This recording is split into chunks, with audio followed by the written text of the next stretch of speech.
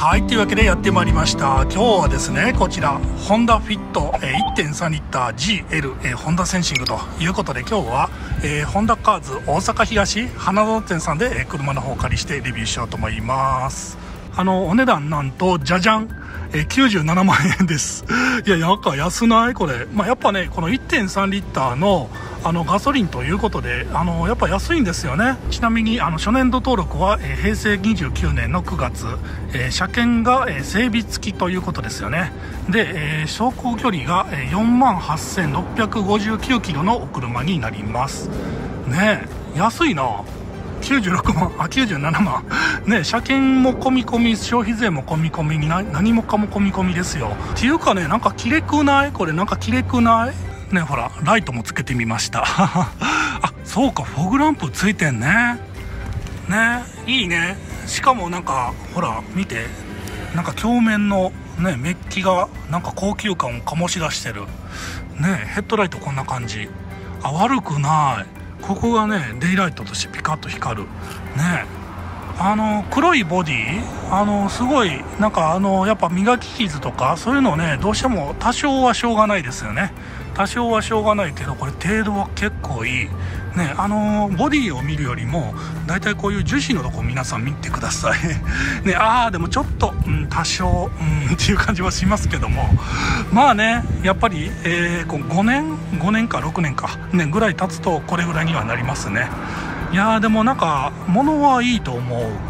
ね、ちょっとぐるっと一周してみるわ。ホイールはね鉄鎮にはなるんですが185の 60R15 15インチですね。あタイヤはねどうでしょうか。そろそろこれ変えた方がいいかもしれないな。ねフロントがちょっと来てるかな。あでもでも大丈夫。リアが結構ほらこれすごいリア溝だらけ溝だらけというかめっちゃいい状態リアのタイヤは。なのでこれ前と後ろあの同じサイズになりますのであのこれ変えていただいたらいいんじゃないですかね。あの納車する時に。もしくはもうこれ前だけ変えてもいいかもしれないですね。であとあドアバイザーね一応ちゃんとついてます。あの標準のタイプがついております。ね。で、えー、ミラーにもこのウィンカーがつくというタイプになりますね。ねどうでしょうか？リアの感じ。ねあのやっぱ黒いフィットって結構なんか高級感がある。意外と フィットなのに高級感。ああちょっとリアいっちゃってるか。ここ。もうちょっと正直リビューします。ねここちょっとタッチアップしてますね。この辺ね。うん。真後ろから見たらこんな感じです。ねいいんじゃないの？ハイブリッドのフィットはねここがね結構こうなんか透明だったりなんか結構わりかしガチャガチャしてるんですよね。でそれに比べてこのガソリンタイプってなんかねこの赤で統一しててなんかシンプルでかっこいいんすよね。なんかそれはね実は当時からあの感じておりました。意外とねほらこの下回りほらこの辺もねなんか意外とスポーティーなんですよねフィットってね。見ていただきたいのはこういう樹脂のとこね。ほら綺麗じゃない？日焼けしてないよな。そうそう。これがね結構楽なんよ。ここにボタンがあってこれでね施錠ができるんですよね。はいでは。あ久しぶりのフィットお邪魔しますと。うわなんか懐かしい。ねえ。ああそうそう。あシフトレバーこんなんなんや。ね、あのー、ハイブリッドはもうちょっとね、なんか短くてペタッとしててね、なんかあのー、ちょっとね、シフト入れづらいというか、初めての方は、うん、これどうしたらいいんだっていう感じなんですけど、あの、普通のね、1.3リッタータイプは、この昔ながらの、ね、このタイプですよ。これが一番ね、わかりやすくていいと思う。あの、運転は一番しやすいと思います。これね、やっぱハンドブレーキいいわ。これでマニュアルだったら面白かったかなって今ちょっと思っちゃったけど、まあまあね。結局は、あのー、本当になんか、こう、理にかなってるんですよね。ここにあるとね。あの、足でフットブレーキでするやつあるんですけど、若干ちょっと足元が狭かったりするんで、こういったね、コンパクト感に関してはね。なので、ここにあった方が私はいいかなと思っちゃったりもしております。で、あ、ナビちゃんとついてたわ。ね、これそんなに、うん、あの、グレード的には高くないやつですが、まあ、必要最低限ですよね。これやっぱあるとないとでだいぶ 利便性が違ってきます。あの、今の新しいフィットは、もうちょっとね、なんか、あの、シームレスと言いますか、シンプルなんですよね。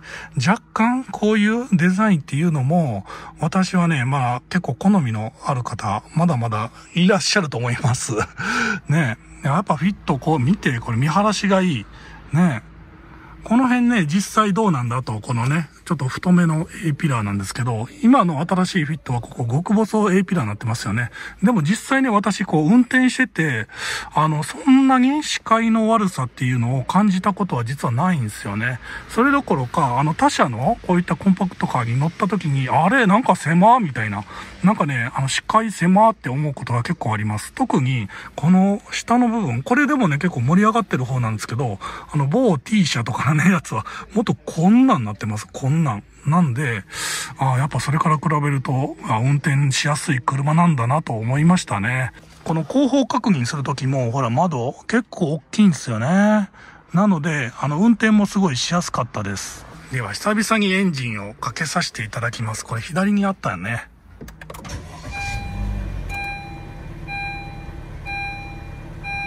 ETC カードが挿入されていません。はい、ETC カード。あ、ETC もちろんどっかに完備です。あ、あったあった。よかったね。もうこの時代 ETC がないとねっていう感じですよ。こんなんつけるだけでも、後付けするだけでもやっぱ2万ぐらいかかるんかな。シガーソケットと、あ、すごい USB 完備ね。あで、そうそう、これ、当時のね、ナビの これはなんか位置情報的なやつ、確か。で、ドア周りは、まあこういったちょっとね、若干樹脂ではあるんですけど、まあそんなにこの樹脂、樹脂であるがゆえになんか汚れが目立たないみたいな、拭きやすいみたいなやつなんですね。あ、ハンドルの感じ。あ、ハンドル、あ、なんかこれ革というか、なんやろ、樹脂、なんか若干こう、柔らかいやつです。あー、で、そっか、タコメーターになっとるね。これ、クルーズコントロールはついてますね、ホンダセンシング。で、これ、イーコンね、イーコンちゃんとついてます。ほら、葉っぱのマーク。ね。なので、これ1.3リッターなんですけど、これ燃費どうだったかな？ちょっと貼っときますけど、あの、そんなに悪くなかったと思いますよ。ちなみに、シートチェック、こんな感じです。ね。あの、そんなに、うん、まあ、この辺はちょっと、うん、ちょっと、ちょっとだけ使用感はある。だけど、それ以外はなんか破れとか、なんかね、そういうのは一切ないですね。で、リア席、こんな感じです。まあ、フィットのこのリア席ね、実は見て、ここ、こういう使い方が実はできるんですよ。知ってましたか？皆さん知ってる、知ってるよね。あの、本当に広い、あの、センタータンクレイアウトで、あの、ガソリンタンクは実はこの座席の下にあるんですよね。なので、このリア席がかなり広く使えるということですよ。ちょっと乗り込んでみます。お邪魔しますと。おおあ、ほらね、十分。私そんなに足は長くないようなんですけど、身長は183センチあります。ね、これ、前の、だいぶちょっとね、傾けたりして、あの、ゆっくり乗ってる状態で、ね、ゆったり乗ってて、それでもまだ拳1個ぐらい入るんよね。いやー、あの、十分ね。で、さらにね、これ、見て。ここにね、あるでしょこれ、リクライニングできるの。背中倒すと、もっとこう広く感じました、今。ああ室内こんな感じね。よし、ちょっとリア席、ね、こんな感じで2個位置で倒れます。ほら、見て、これ。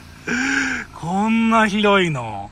ねえ、もうこれだったらなんか IKEA、最近ね、IKEA 行って家具買って、あ、車乗らねえっていう時あるんですけど、結構長門もね、この真ん中、あの、はわしていったら、こう、ストーンと長いの乗せれました。ね、それぐらい家具の、なんか段ボールも乗っかるぐらいの広さですよ。ね、これ倒さなくてもかなり、それだけでもだいぶ広い。で、しかも見てこれ、じゃじゃーん、さらに下になんか工具とか入れちゃったりしてみたいな、そういうスペースですよね。で、ちなみにほら、こういったライトもつくので、いや、本当にね、なんかいいんよ、フィット。まあ、ハイブリッドもいいんですけど、やっぱ車両価格だよな。ね、しかもこれ車検付きで97万ということでね、今これ、ホンダカーズ大阪東花園店さんの方でね、販売の方してありますね。